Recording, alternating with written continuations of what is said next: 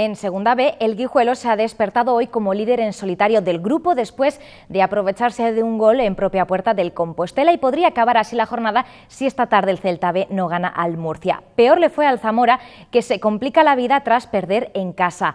A pesar de las ganas de revancha, el Atlético Astorga firmó tablas con el Racing de Ferrol.